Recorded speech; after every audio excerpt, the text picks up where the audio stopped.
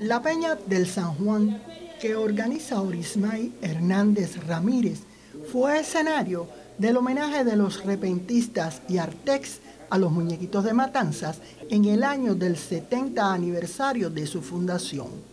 Diosdado Ramos Hijo, conocido como figurín y director de Rumbatimba, hizo la historia del afamado colectivo surgido en un bar del barrio La Marina y que ostenta varios Grammy latinos, así como medio centenar de discos grabados en Cuba o en el extranjero. Durante la peña se presentó el disco de Beat Music La bandera de mi tierra, donde se patentiza la cubanía de los muñequitos y la fidelidad a sus raíces folclóricas.